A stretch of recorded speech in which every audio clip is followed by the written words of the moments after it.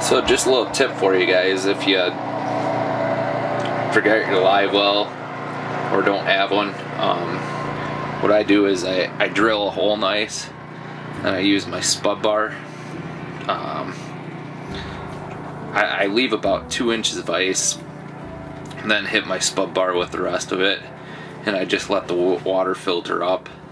It's just a easy way to uh, keep your fish fresh and it's just nice little live well.